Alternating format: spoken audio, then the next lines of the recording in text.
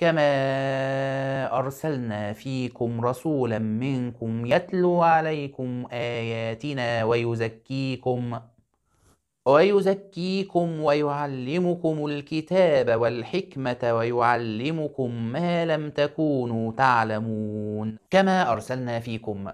من المقصود بكلمة فيكم؟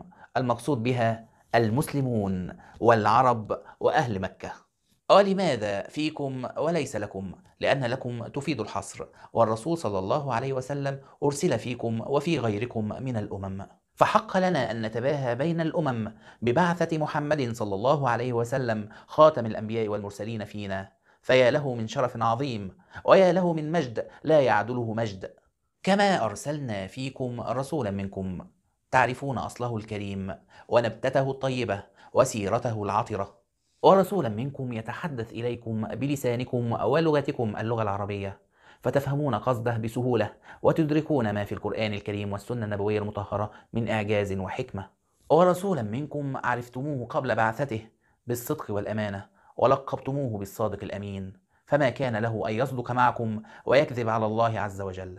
ورسولا منكم عرفتموه أمي لا يقرأ الكتب ولا يكتب الشعر فمن أين له بهذا الوحي الذي تنزل عليه من السماء بأشياء ليست في قدرة البشر؟ ورسولا منكم من العرب من أهل الفصاحة والبلاغة والبيان.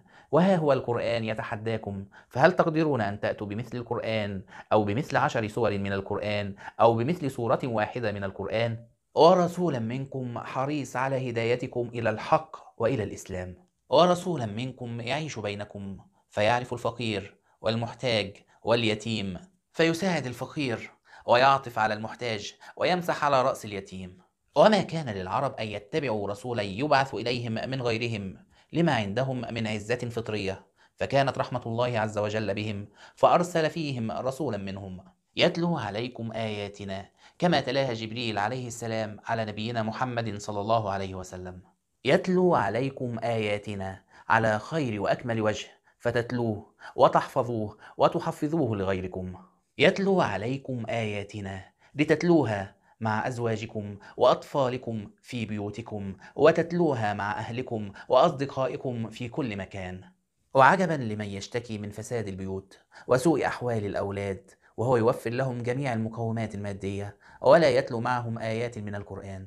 فإذا تلون القرآن حق تلاوته تصبح النفوس مهيئة للتزكية. والتزكية تحتوي على قسمين تطهير وتنمية. وما الإنسان إلا بدن وروح فيجب عليه أولا أن يطهر البدن من النجاسات الحسية والمادية ثم بعد ذلك ينميها بالوضوء والطهارة والاغتسال. ثم نأتي بالنفوس فنطهرها من الشرك والكفر والمعاصي والسيئات والشهوات ثم ننمي هذه النفوس بالإيمان والهدى والتقوى والأعمال الصالحة ومكارم الأخلاق. فالأرض كي تكون صالحة للزراعة لابد أولا أن تنقى من الحشائش والطفيليات الضارة وأن تحرث جيدا وأن تعرض لأشعة الشمس ثم تصبح بعد ذلك قادرة على الإنبات. وأبلغ عبارات تدل على معنى التزكية قالها الصحابي الجليل جعفر بن أبي طالب رضي الله عنه وأرضاه للنجاشي ملك الحبشة فقال له أيها الملك كنا قوما أهل جاهلية نعبد الأصنام ونأكل الميتة ونأتي الفواحش ونقطع الأرحام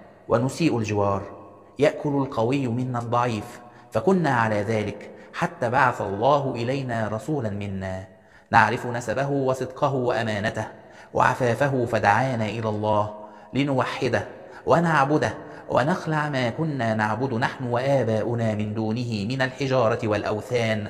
وأمرنا بصدق الحديث وأداء الأمانة وصلة الرحم وحسن الجوار والكف عن المحارم والدماء ونهانا عن الفواحش وقول الزور وأكل مال اليتيم وقذف المحصنة وأمرنا أن نعبد الله وحده لا نشرك به شيئا وأمرنا بالصلاة والزكاة والصيام.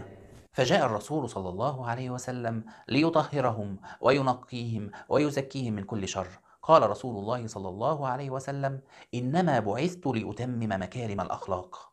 أتدري أكثر ما يدخل الجنة؟ تقوى الله وحسن الخلق. وما من شيء في الميزان أثقل من حسن الخلق. وبعد تمام تزكية النفوس تصبح مهيئة لتلقي العلم والمعرفة. ويعلمكم الكتاب والحكمة. والكتاب هو القرآن الكريم. والحكمة هي السنة النبوية المطهرة. والقرآن والسنة متممان ومبينان ومفسران لبعضهما البعض. والحكمة في اللغة معناها وضع الشيء في موضعه. أما إذا اقترنت الحكمة بالكتاب فمعناها السنة النبوية المطهرة على أرجح الأقوال. والسنة النبوية الشريفة تشمل كل الأقوال والأفعال وما أقره الرسول صلى الله عليه وسلم وما ندب إليه أو سكت عنه. وزكى رسول الله صلى الله عليه وسلم من تعلم القرآن وقال خيركم من تعلم القرآن وعلمه ويعلمكم ما لم تكونوا تعلمون من أخبار الأنبياء وقصص الأمم ومن الأحكام والشرائع. ويعلمكم ما لم تكونوا تعلمون من علوم الدنيا والدين.